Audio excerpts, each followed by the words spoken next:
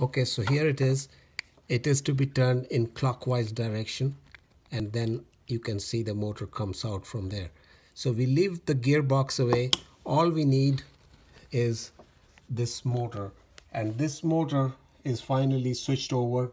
Uh, similarly the other motor is turned clockwise and taken off and you just switch on on on the motor to the to the dryer uh, motor. So if we have it here now we put this very easy to uh, uh, give it a quarter of a turn and and lock it in on the um, on the gearbox unit for the dryer timer.